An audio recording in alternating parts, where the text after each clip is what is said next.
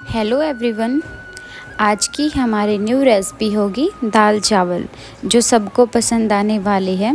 तो चलिए video start करते हैं।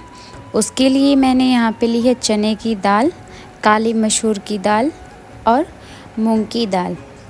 इनको कम से कम तीन चार बार अच्छे से धो लेंगे।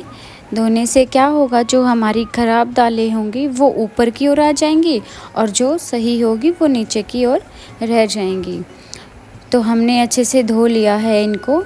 एक कुकर लेंगे, उसमें सभी दालों को ऐड करेंगे। दो तीन गिलास पानी डालेंगे और मैंने यहाँ पे हल्दी, नमक, तेज़पत्ता, दो लौंग, एक बड़ी इलायची, दो लाल मिर्च और थोड़ा सा तेल तेल का क्या फ़ायदा है? कई बार क्या होता है, जैसे हमारी दाल में सीटी आती है तो दाल निकलने लगती है।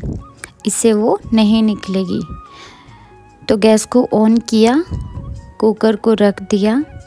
यहाँ पे पाँच छः सीटियाँ लगवाएँगे। दूसरी तरफ़ दाल फ्राई करने के लिए कुछ वेजिज की कटिंग करेंगे। तो यहाँ पे मैंने एक प्याज, एक टमाटर चार पाँच हरी मिर्च और एक शिमला मिर्च। तो इनको अच्छे से काट लिया है। मैंने पालक भी ली है। पालक को भी बारीकी से काट लिया है। इससे क्या होता है, जो दाल का टेस्ट होता है, वो दुगना हो जाता है। यहाँ दाल उबल कर तैयार है। इसमें से तेज पत्ता और बड़ी इलायची को निकाल लेंगे और दाल को एक घोटने के साथ अच्छे से घोटेंगे। दाल फ्राई करने के लिए एक फ़ैन लेंगे, उसमें दो चम्मच ऑयल डालेंगे। ऑयल गर्म हो जाए तो उसमें दो लौंग, तेज पत्ता, दो बड़ी लाल मिर्च, जीरा, राई और लहसुन अदरक का पेस्ट डालेंगे। इनको हल्का सा ब्राउन होने देंगे। ब्राउन हो जाए तो इसमें डालेंगे प्याज और हरी मिर्च। हरी मिर्च के साथ शिमला मिर्च भी मैंने डाल दी है।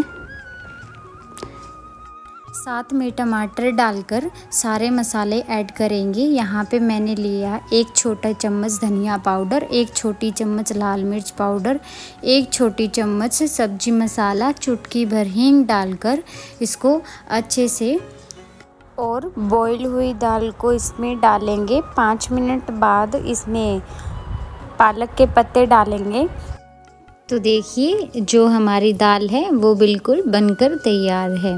दाल बनी है तो चावल तो बनेंगे तो उसके लिए मैंने यहाँ पे लिए है बासमती राइस।